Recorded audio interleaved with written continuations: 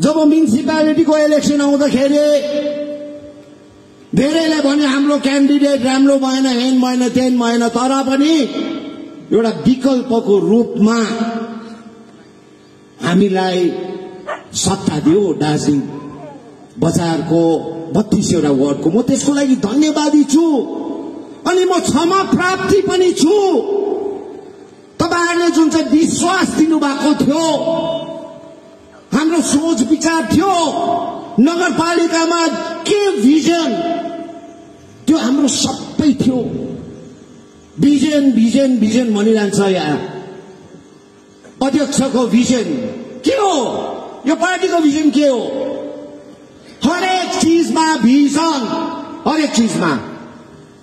Vision छैन भने जातिको उत्थान हुँदैन। भिजन दूरदर्शिता हरेक चिजको छैन भने हाम्रो जातिले दुःख पाउँछ। हाम्रो भिजन के थियो दार्जिलिङ नगरपालिकामा बजारमा? आज बजारको नागरिकहरूले भन्छ होला अनि स्वाभाविकै हो हामीले यसको भुल स्वीकार गर्नुपर्छ कि हामीले हाम्रो जतिजनालाई एकत्रित गरेर राख्नु सकेन। तर हाम्रो पोलिटिकल इमेच्योरिटी भनौँ कि हाम्रो साधारण सोच विचार भनौँ कि हामीले सोचेको थियौँ दार्जिलिङ बजारमा उम्मेद्वारहरू कस्तो खटा खटाउनु पर्छ भनेर। हामीले सोचेको थियो चालक दाजुभाइहरूको व्यथा कसलाई थाहा हुन्छ? हामीले एकजना चालक दाजुभाइलाई एकजना उहाँको समूहबाट एकजनालाई उम्मेद्वार खडा गर्यो। एकजना गाइड साधारण गाइड जसले चाहिँ टुरिस्टहरूलाई हाम्रो दार्जिलिङ देखाउँथ्यो पारी सिक्किम भुटान देखाउँथ्यो उहाँलाई मौका दियो। आज उहाँ नगर अध्यक्ष भइरहेछ। साधारण गाइडलाई यो पार्टीले मौका दियो। तपाईँ हामीले कि गाइडको व्यथा गाइडलाई थाहा हुन्छ भनेर सानो दोकान गरेर जीविका चलाउने बहिनीलाई हामीले उहाँको व्यथा उहाँलाई थाहा हुन्छ भनेर दिएको थियो। तर हामी सिधा सादा हामी छल कपट गर्नु सक्दैन। हामी पैसाको आडमा अगाडि बढेको थिएनौँ। तर के गर्नु? छ महिना तुरिसकेर आठ महिना तुरिसकेर षड्यन्त्र भयो हाम्रो पार्टी अनि हाम्रो नगर पार्षदहरूमा। हामीले कसरी सोच्नु कि त्यो चालक दाजुलाई त्यो भाइलाई दस पन्ध्र लाख रुपियाँ दिँदा उसको खुट्टा हल्लिन्छ भनेर हामीलाई थाहा थिएन। हामी त सोचेको थियो पक्का जनताको सेवक भएर उठेको थियो भाइ। हामीलाई कहाँ थियो? त्यो गाइड भाइ। उसको सपना त भोलिको दिन दार्जिलिङको चेयरम्यान हुन्छु अनि पैसा कमाउँछु भनेर सोच विचार थियो भनेर हामीलाई थाहा थिएन। त्यसको निम्ति म अनि मेरो टिम दार्जिलिङ वासीहरूलाई यो बत्तीसवटा वार्डहरूको वासीहरूलाई हाम्रो टिमबाट हृदयबाट हामी माफ माग्छौ। तर भाइहरू बहिनीहरू जो चाहिँ धनको मुख तपाईँले सोच्यो तपाईँको पोलिटिकल करियर पाँच साल मात्रै सोच्नुभयो। तपाईँलाई याद दिलाउन चाहन्छु अचम्बरीको लागि चाहिँ त्यो दार्जिलिङ नगरपालिका होइन। त्यो दार्जिलिङ नगरपालिका चाहिँ दार्जिलिङ पाहाडको जनताको सम्पत्ति हो। अनि दुई साढे दुई वर्षमा तपाईँहरू फेरि त्यहाँ आउनुहुन्छ कि आजको तपाईँहरूको कर्तुतले? तपाईँहरू यही पाँच वर्षसम्म मात्रै तपाईँहरूको पोलिटिकल करियर हो। यो सोच्नुपर्छ किनभने हाम्रो पार्टी अनि हाम्रो समर्थक यो दुई वर्ष पाँच वर्षको लागि मात्रै जन्मेको होइन। हाम्रो जातिको बेथा कमानवासी होस् पञ्चायत एरिया होस् डिटिए क्षेत्र होस् मिरिकको नगरपालिका होस् खरसाङको नगर नगरपालिकाको बासी बासिन्दाहरू होस् कि कालिम्पोङको बासिन्दा हाम्रो सोच विचार लङ टर्म लङ टर्म भनिन्छ। किनभने बिगार धेरै वर्षदेखि भएको छ। यो खाले सोच हामीले अगाडि ल्याउनै पर्छ। नगरपालिकाको सोच के थियो। धेरैले जिस्काउँछ एक सौ करोड खै एक सौ करोड? हुन्थ्यो एक सौ करोड किन हुन्थेन? दस लाख टुरिस्ट आउँछ दार्जिलिङमा। दस लाख टुरिस्ट आउँछ। दस लाख टुरिस्टमा बुद्धि छैन दाजुभाइहरू। हजार रुपियाँ सामान पन्ध्र सौ सामान कसरी निकाल्ने हरेक टुरिस्टकोबाट? ट्याक्स बढाएर होइन आजको जस्तो दोकानदारहरूको ट्याक्स होल्डिङ ट्याक्स बढाएर होइन क्रिएटिभ सोच विचार लिएर त्यो टुरिस्टलाई टुरिस्ट फेसिलिटिजहरू बनायो भने एउटा स्काई वक बनाएर कञ्चनजङ्घा हेर्ने। यही वरिपरि। अनि सिक्किमको जस्तो स्काई वक त्यो स्काई वकमा त्यो ग्लासमा हिँड्ने एउटा जग्गा बनायो भने हरेक टुरिस्टले दुई सौ रुपियाँ दिँदैन। यहाँदेखि लेबोङ। यो मैले भनेको भिजन सेयर गर्नुपर्छ। हामीले सेयर गरेर उनीहरूले गर्यो भने कति राम्रो। भिजन भनेको आफ्नो क्षेत्रको आफ्नो बजारको भिजन लुकाएर राख्नु हुँदैन बाँड्नुपर्छ। माथि माथिबाट पुरा गर्नुपर्छ।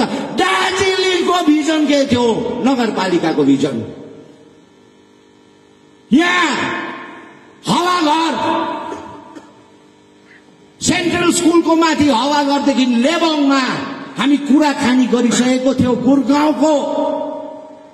एउटा केबल केबल कारसँग बनाउने कम्पनीसँग। केबल कार भनेको चार मिनटमा यहाँबाट लेबोङ पुग्थ्यो। चार मिनटमा त्यो लेबोङबाट सिंहमारीदेखि यहाँ बजार आउनु पर्थेन हाम्रो नानीहरू। केबल कार यहाँबाट भयो भने चार पाँच मिनटमा लेबोङ भ्याली पुग्थ्यो।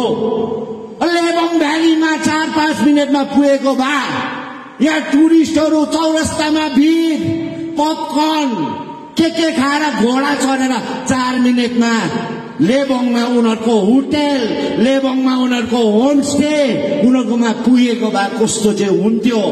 टुरिस्टलाई आउनु जानु चार सौ रुपियाँ निकाल्नु सक्थेन हामीले। अनि हाम्रो लोकल स्टुडेन्ट्सहरू लोकल हाम्रो भाइ बहिनीहरूको लागि चौरस्तासम्म आउनु महिनाको दुई सौ रुपियाँको महिनाभरि टिकट। कति छिटो आउनु सक्थ्यो? भिजन एउटा यो सानो चिज मात्रै भनेको भिजन म्युनिसिपालिटीको लागि। यस्तो त धेरै थियो। दिल्लीको दार्जिलिङलाई प्लान गर्ने। यो बजार कसरी चाहिँ बढाएर लाने? आजको दिन दार्जिलिङको नागरिकहरू यत्रो यत्रो मुसा बस्ने कोठाहरूमा बसिरहेको छ। दार्जिलिङको यही गरिबहरू कति छ? बजारको गरिबहरू। तिन तिन जेनेरेसन भयो तर एउटा आफ्नो आजसम्म आजसम्म रेन्ट तिरेर आफ्नो घर पनि भएको छैन। उहाँहरूको लागि चिप हाउसिङ कसरी चाहिँ गर्ने अनि कुन चाहिँ जग्गामा गर्ने? जहाँ चाहिँ एउटा सानो फ्ल्याट पनि दुई लाख साढे दुई लाख तिन लाख समान यो सोच विचार थियो। के गर्नु? पैसा अनि लालच अनि त्यो भवन। जुन चाहिँ नगरपालिका के भवन हो? नगरपालिका भवन हो जहाँ चाहिँ दार्जिलिङको नागरिकहरू त्यो धनी भयो भने दार्जिलिङको नागरिकहरू धनी हुन्छ। यो विगतको दिनहरू जस्तो बाह्रजना चौधजना धनी हुने भन्ने हाम्रो सोच विचार थिएन। यो भिजन यो पार्टी किन जन्मेको यो भिजन चिया बगानको लागि के भिजन थियो? तपाईँहरूको अध्यक्ष तपाईँहरूको परिवार हाम्रो पार्टीको के भिजन छ? चिया बगानमा। चिया बगानमा हाम्रै मान्छेहरू मालिक हुनुपर्छ। यही हो भिजन हाम्रो। मालिक हुनुपर्छ। पेसोक चिया बगानमा घरिघरि एउटा मालिक आउँछ छ महिना चलाउँछ सात महिना चलाउँछ अन्त चलिदिन्छ। हाम्रो मान्छेहरूलाई यो दुई सौ पचासको निन्द्राबाट निकाल्ने। हाम्रो भिजन यो पार्टी र तपाईँको परिवार। दुई सौ पचासको यो निन्द्राबाट उठाउनु पर्छ हाम्रो सोच विचार पेसोकमा जहाँ चाहिँ टुरिज्म छ त्यहाँ टुरिस्ट भिलेज हुन सक्छ त्यहाँ बुलडोजर लगाएर भोलिको दिन सबै त्यहाँको हुने खानेले मात्रै ठुल्ठुलो जमिन राखेर हुँदैन। सबैले जमिन पाएर आफ्नो आफ्नो होमस्टे आफ्नो आफ्नो टुरिज्म गर्ने हाम्रो सोच विचार हो।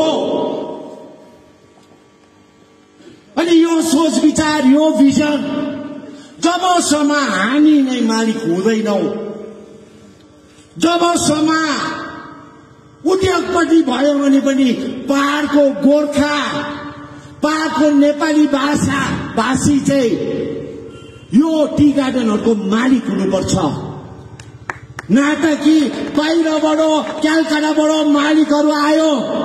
राम्रो फसल हुँदाखेरि राम्रो दाम पाउँदाखेरि चाहिँ टाइममा दुई सौ पचास रुपियाँ दियो। राम्रो भएन भने चाहिँ बन्द गरिकन लकआउट गरिकन जाने। अनि हामी चाहिँ हेरेको हेरेकै। अब मालिकहरू चाहेन जसले कमान बन्द गरेर जान्छ भोलिदेखि त्यहाँ चाहिँ कुनै मालिकलाई पनि त्यहाँ खुट्टा टेक्नु दिनु हुँदैन भन्ने भिजन चाहिँ यो पार्टी र हाम्रो हो। जनताले जनताले यो बुझ्ने। जनताले चाहिँ हामीलाई बुझ्ने कि? इलेक्सनको अगाडि ठुल्ठुलो कुरा गर्यो। अझै र उहाँको समूहले बाटो बनायो रातो। अब कालो हामी बनाइदिन्छ भनेर ढोल पिट्नेहरू आजको दिन इलेक्सन तुर्यो। पञ्चायत पनि लगाइसक्यो जिटिए पनि लगाइ खै तिम्रो कालो बाटो? तिम्रो कालो बाटो खै? मेरो भाइहरू दसैँ आएको जस्तै गाउँमा बिहा आएको जस्तै इलेक्सनमा अन्य पार्टीको मासु भात पाँच सौ रुपियाँ हजार रुपियाँ पछि लाग्ने आजको दिन सनाटा छ त। हेरिरहेको छौ त तास खेलिरहेको छौ त। खै? तिमीलाई यत्रो यत्रो आश्वासन गर्ने तिमीलाई इलेक्सनभरि गाडी घोडा खाना पिन दिने आज कहाँ छ त्यो नेतृत्व गर्नु अँध्यारो छ। न्युज पेपर पढिरहेको छ। गाउँमा मरौ भयो भने मात्रै हाम्रो भाइ बहिनीहरूको के गर्ने हुन्छ? नभए त छैन। हाम्रो अवस्था के भयो? अनि यही गर्ने। हजार रुपियाँ जोडै दिने लास्टमा उसलाई नै माया गर्ने। पाँच सौ रुपियाँ तिमीले थाप्यौ भन्यो नि तिमी चुप लाएर बस अब। सालको एक सौ रुपियाँ तिमीले थापिसक्यौ। त्यो सालको एक सौ रुपियाँले अब तिम्रो गाउँ बनाऊ। यो मानसिकताबाट चाहिँ हामी निक्लेन भने हामी गरिब गरिब गरिब हुन्छ। यो सोच्नुपर्छ। तिमी हजार थापेको भने तिमीले एक सालको दुई सौ रुपियाँ थापिसक्यौ। थापिसक्यौ।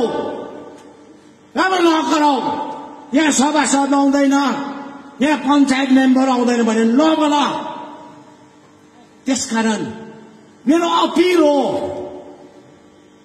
हामीले नेताहरूलाई हामीले सभासदहरूलाई पैसा माग्नु हुँदैन।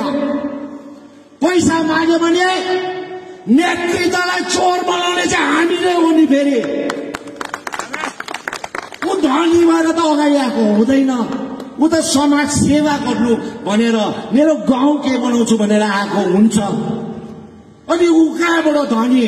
कहाँबाट धन कमाउने? तर उसकोमा बारम्बार बारम्बार बारम्बार गयो भने ऊ पनि चोट्नै पर्छ।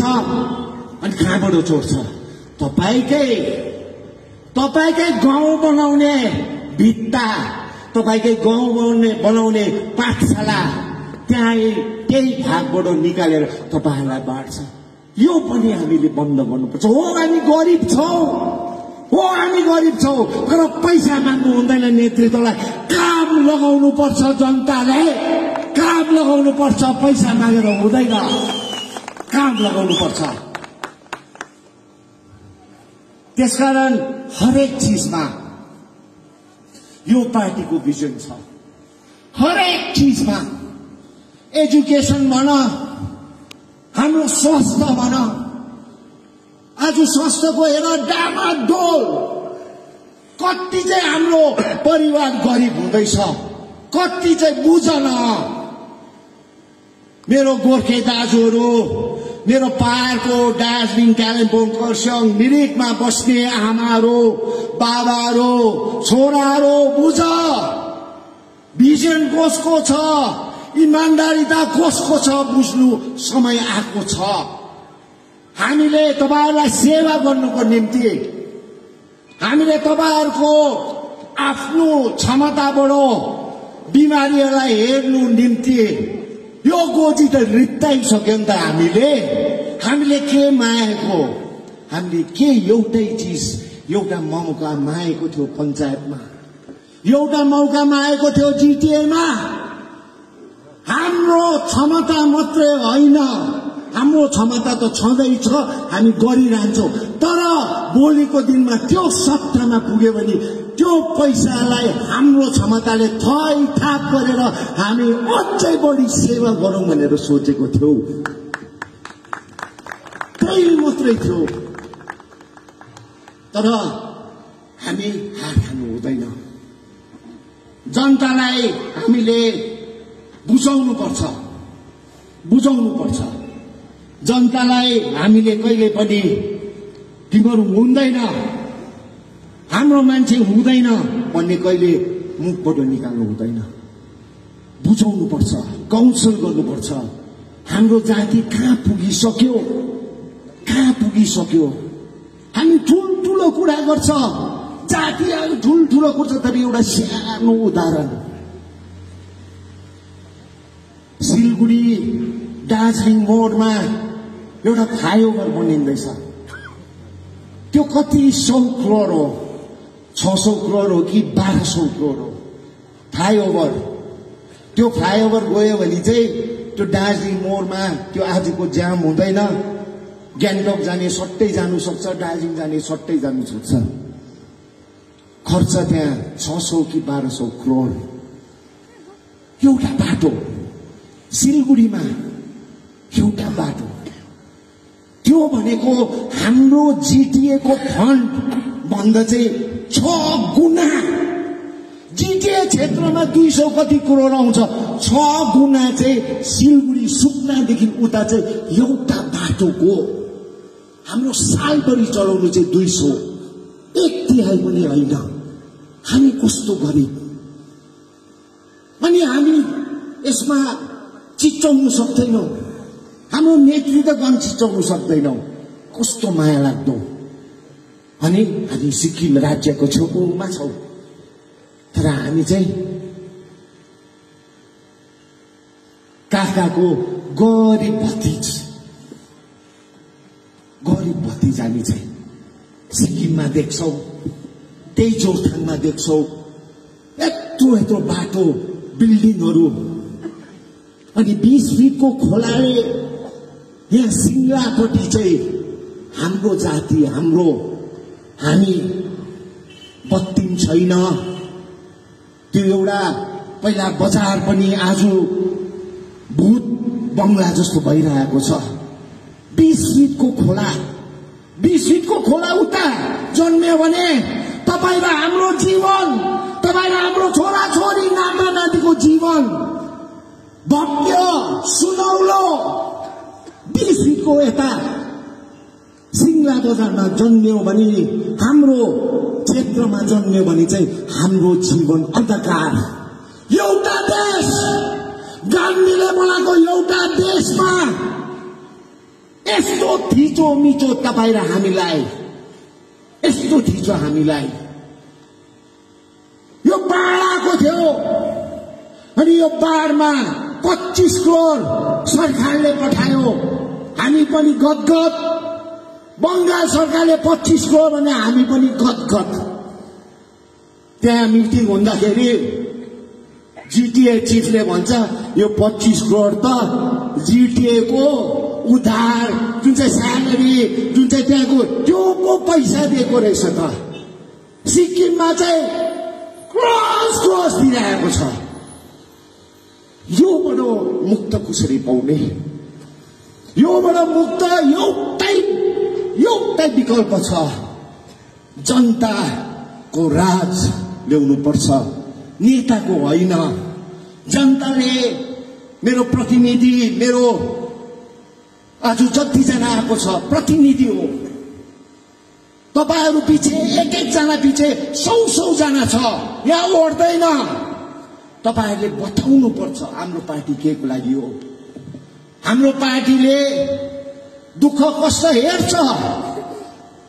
तर त्यो सबैको हेर्ने पनि हाम्रो क्षमता छैन।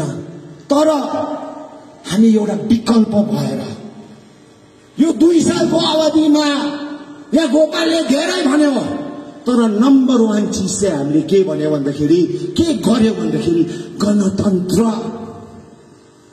गणतन्त्र फर्क्यो पक्का। जिएनएलएफको टाइममा जेसुकै भनोस् मेरो साथीहरूले म पनि त्यही पार्टीको तर गणतन्त्र थिएन। अपोजिसन भनेको मदन दाजु मात्रै थियो। मदन तामाङ पनि तर निर्वाचित थिएन। एउटा अपोजिसन इलेक्टेड नभएर कराइहिन्थ्यो उहाँलाई त्यति महत्व जनताले दिन्थेन। विमल दाजुको टाइममा पनि अल इन अल गोजा मोमो थियो। त्यति बेला स्वर उठाउनु सक्थेन। जनताले स्वर उठाउँछ यो बाटो भएन। यो कन्ट्राक्टरलाई निकाल। यो भएन भन्नु सक्थ्यो सक्थेन। मै सात साल दार्जिलिङ छोडेर जानुपर्ने। सात साल पछाडि आउँदा चौरस्तामा हिँड्दा मेरै घनिष्ठ साथीहरूले मलाई देख्ने बित्तिकै उता उता उता जान्थ्यो यति डर थियो। म घरबाट निस्किन्थेन। किन निस्किन्थेन भने मेरो साथीहरूको लागि मलाई लाज लाग्थ्यो उनीहरूको डर देखेर। तर आजको दिन यो परिवार हाम्रो परिवारले त्यो गणतन्त्र चाहिँ फर्काएको छ। नेतासिंह आजकल को डराउँदैन। नेताहरू जनतासिंह डराउने चाहिँ यो पार्टीले बनाएको छ यो दुई सालको अवधिमा। यो दुई सालको अवधिमा नेताहरू डराउने जनतासिंह बनाइदिएको छ हो कि होइन? पनि हो जनताको राज जनताको राज पनि हो त्यसकारण मेरो परिवारलाई म भन्न चाहन्छु दुई सालमा हामीले धेरै कष्ट देख्नु पर्यो दुई सालमा उनीहरूले हाम्रो धेरैलाई बिक्री गरेर लायो लोग्यो तर फेरि म भन्छु यो सेवा गर्ने हात चाहिँ किन्नु सकेको छैन हो कि होइन यो हात किन्यो किनेन हाम्रो गरिबी जनताको दुःख देख्ने आँखालाई बिक्री गर्नु सक्यो सकेन त्यसकारण यो बिर्सिनु हुँदैन। हाम्रो पार्टी किन जन्मेको? यो बिर्सिनु हुँदैन। हाम्रो पार्टी किन जन्मेको? के थियो आवश्यकता? घर घर बस्यो भइहाल्थ्यो त। सबै थियो त। घर सहर सबै थियो। थिम थियो के आवश्यकता पग्ला हो हामी पग्ला हो होइन पग्ला एउटै कारण हो जातिलाई माया गर्ने पग्लाहरू हो यो जग्गालाई माया गर्ने पग्लाहरू हो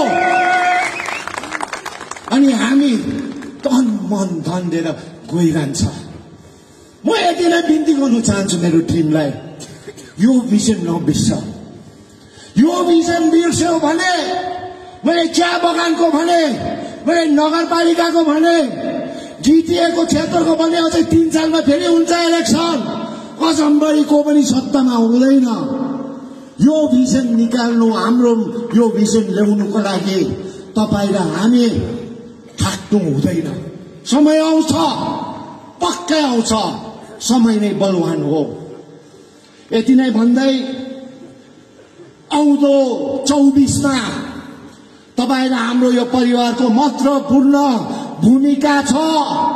भूमिका भन्दा पनि एउटा रिस्पोन्सिबिलिटी छ जिम्मेवारी। हाम्रो जाति र यो क्षेत्रको समय नष्ट गर्नु दिनु हुँदैन विगतको पन्ध्र साल जस्तो। यो हाम्रो भूमिका हो। त्यसकारण आज नेतृत्वलाई मात्रै हामीले बोलाएको। यो शीतकालीन सत्रमा यो सरकारको लास्ट पार्लियामेन्ट्री सेसन हो लास्ट अन्तिम आजसम्म बिजेपीलाई खुल्लम हामी गाली गरेको छैनौँ खुल्लम विरोध गरेको छैनौँ। राजुभाइलाई पनि नराम्रो भनेको छैन किन? राजुभाइलाई पनि धोका भइरहेछ। राजुभाइ पनि गोर्खै हो। उसलाई पनि धोकै भएछ। यो सरकारले। हामी पर्खिरहेको छौँ। यो शीतकालीन सत्रको बीचमा तपाईँहरू जो जो नेतृत्व छ हरेक नेतृत्वले सौ सौ दुई सौ तिन सौ चार सौ जनालाई चाहिँ बुझाएर चाहिँ त्यो दिन चाहिँ भल दार्जिलिङमा आउनुपर्छ। जब बिजेपीले यो लास्ट पार्लियामेन्ट सेसनको बिचमा गर्नुपर्छ अनि यहाँबाट आवाज हामीले भारतलाई दिनु सक्नुपर्छ। कि यो बिजेपी भन्ने पार्टीलाई विश्वास गर्नुपर्छ भारत देशले कि गोर्खा जातिहरूले जुन चाहिँ विश्वास पन्ध्र साल गरेको थियो यस्तो विश्वास कहिले पनि गर्नु हुँदैन भन्ने भन्नुपर्छ के के? बिजेपीलाई विश्वास गर्नुपर्छ। उहाँहरूले सङ्कल्प गरेको जुन चाहिँ चिजहरू गोर्खालाई भन्यो त्यो पुरा गर्यो। यो तय गर्नुको लागि चाहिँ तपाईँहरूले हरेक हरेक यहाँ जति निर्वाचित पञ्चायत प्रधान panchayat member general secretary president हरेक समष्टिकोले चाहिँ आजदेखि उपरान्त यो हाम्रो जातिको निम्ति पाँच सालमा एकैचोटि आउँछ एकै ताल। यो फेरि गयो भने गाउँ बस्तीमा नेताहरू आएर के के भनेर पछि अँध्यारो भएको जस्तो हुन्छ त्यो गाउँ। पाँच सालमा एउटै मौका छ हाम्रो जातिको कुरा गर्ने।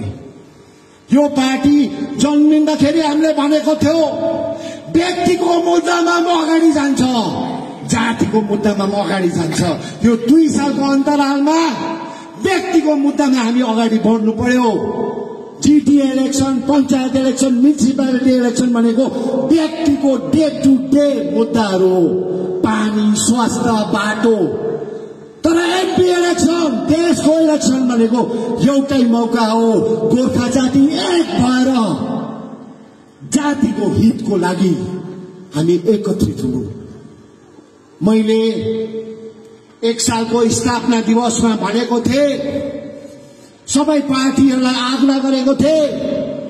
जातिको मुद्दामा अब एकत्रित हुनुपर्छ भनेर यो दोस्रो स्थापना दिवसमा पनि म यही भन्न चाहन्छु। जातिलाई पक्का माया गर्छौ। पार्टी भन्दा जाति भन्ने पार्टीहरूले पार्टी भन्दा जाति ठुलो जाति भन्दा ठुलो माटो भन्ने पार्टीहरूले पनि अब जाति एकत्रित हुनुपर्छ। यो चौबिसको अगाडि हामी टुक्रा टुक्रा भएर के हुँदैन।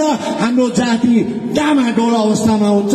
यो पालि हामी मिलेर बिजेपीले के गरेन भने हामी विकल्प निक्लिनु सँगै शिकार निक्लिनु पर्छ